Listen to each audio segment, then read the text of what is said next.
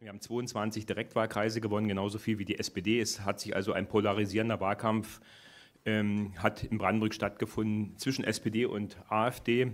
Herr Wojtke ist nur wiedergewählt worden aufgrund ähm, des Zusammenschlusses aller anderen Kartellparteien, um ihn im Amt zu halten. Also wenn ein Ministerpräsident Kretschmer zur Wahl von Herrn Wojtke aufruft und im Prinzip seiner eigenen Partei, der CDU, damit in den Rücken fällt, dann zeigt das eigentlich, ähm, dass es eigentlich nur noch einen Wahlkampf gegen die AfD gibt und dass es hier eigentlich um, um Inhalte kaum noch gegangen ist. Man will eigentlich die AfD von der Macht, auch von der Regierungsverantwortung fernhalten. Das mag dieses Mal noch so gelungen sein, aber es wird auf Dauer nicht funktionieren. Wir sehen es jetzt schon.